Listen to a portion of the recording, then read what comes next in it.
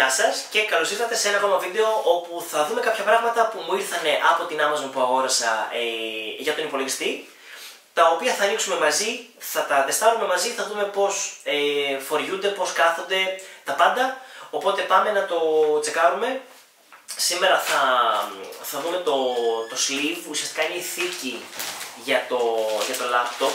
Το laptop είναι το MacBook Pro η 16 inches του 2019 το οποίο προσπαθώ να το προφυλάξω όσο πιο πολύ γίνεται για να μην γαρτσονιστεί ή οτιδήποτε. Προς το παρόν παραμένει καινούριο. Οπότε ανοίγουμε μαζί την θήκη γιατί αυτά μου ήρθαν χτες και είπα να μην τα πειράξω ε, για να τα δούμε μαζί. Η εταιρεία είναι η Hizuo. Hizuo.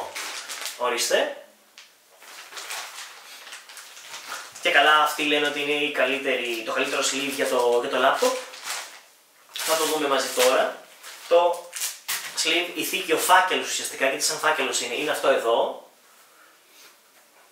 Είναι πάρα πολύ απλό. Το χρώμα του είναι πράσινο, πράσινο κάτι. Και εδώ πέρα κάτω γράφει το όνομα της εταιρείας, το οποίο δεν μπορώ να προφέρω. Το ανοίγουμε, είναι αυτό, ok. Χαρτάκι, εδώ έχει μαγνητάκια ε, εδώ και εδώ έχει μαγνητάκια και αντίστοιχα εδώ επάνω για να μπορεί αυτό να κολλάει. Οπότε πάει έτσι. Τώρα όσον αφορά το μέγεθος, το λάπτοπ είναι εδώ. Οπότε μπαίνει μια χαρά. Θα το δοκιμάσουμε ευθύς αμέσως για να δούμε πώς κάθεται. Λοιπόν, από μέσα είναι γκρι, έχει μια ε,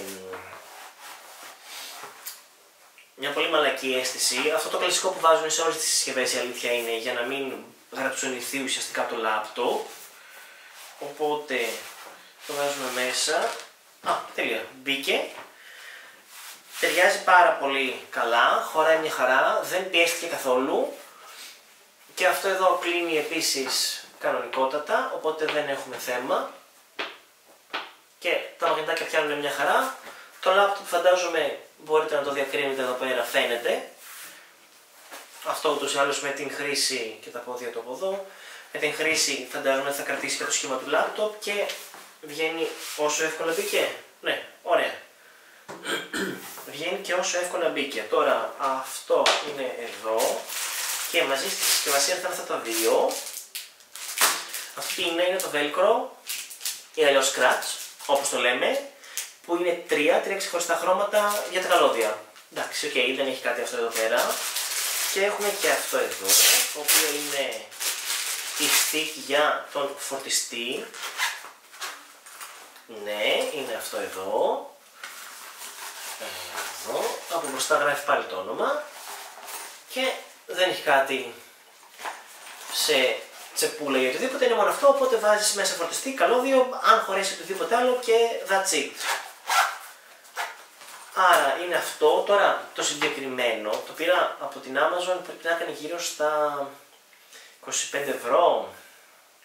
Θα το δω και θα σας πω, αλλά θα βάλω και το link τους ή άλλως.